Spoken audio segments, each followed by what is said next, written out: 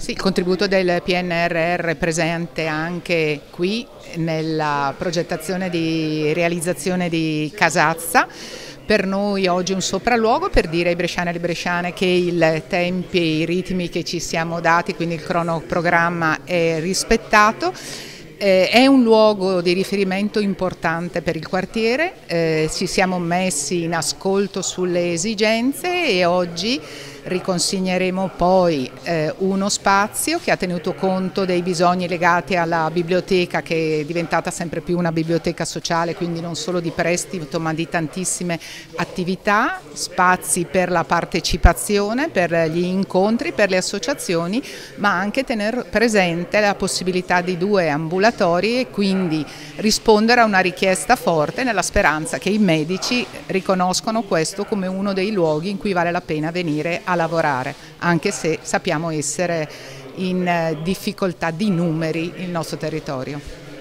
Allora Assessore, si lavora alacremente al centro civico di Casazza, ormai la consegna è vicina, insomma dire tutto è un po' impossibile, ma cosa sta succedendo in questi locali?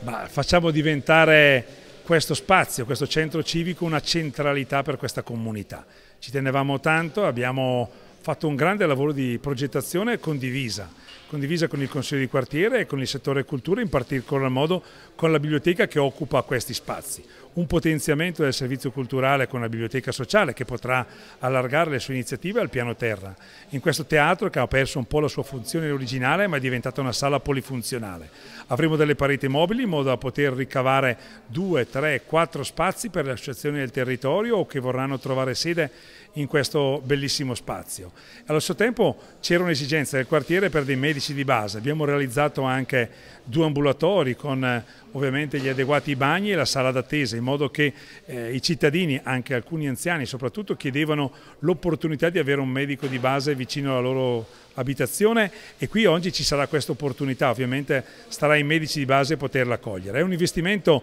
di un milione di euro perché 700 mila sono per la sistemazione del centro civico e della biblioteca e la messa a norma, ma lungo il percorso abbiamo raccolto anche una sollecitazione che era arrivata, l'avevamo già pronta come progettazione ma non avevamo ancora le risorse. Ecco, abbiamo recuperato dal PNRR altri 240 mila euro che serviranno per posizionare un nuovo impianto fotovoltaico sul tetto di questa struttura. Quindi per fine settembre, massimo ottobre, potremo consegnare un centro civico nuovo, rigenerato, vero, vivo e che diventerà sicuramente una centralità per questo quartiere, un esempio anche da poter poi esportare in altri quartieri della città.